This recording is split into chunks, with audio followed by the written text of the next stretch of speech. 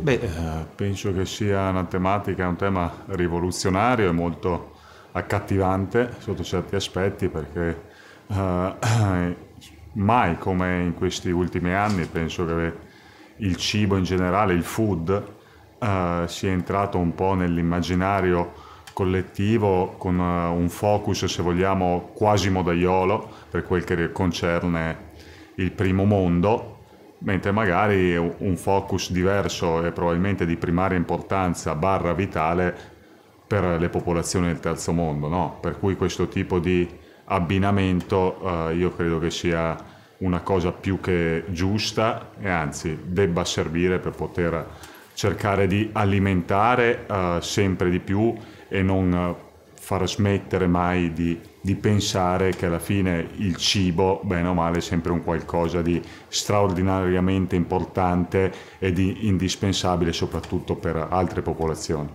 Uh, penso che la cura uh, del cibo, la cura dell'alimentazione uh, alla fine sia un discorso anche di ordine eh, tuo psicologico, di ordine chiaramente mentale, di ordine fisico e credo che per raggiungere tanti obiettivi importanti e per mantenere sempre una, una performance molto alta, io credo che il detto mens sana in corpore sano vada proprio a pennello, calzi a pennello.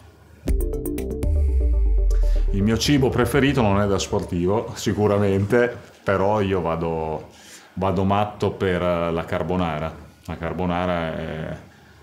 non, non, ammazzerei, ma ferirei gravemente qualcuno per un piatto di carbonara, sì. Mm, due, sicuramente rivoluzionaria e poi rinnovamento. Quello è, essere, devono essere insomma le, le chiavi per poter far sì che questo evento uh, lasci veramente un qualcosa di importante dentro ognuno di noi. thank you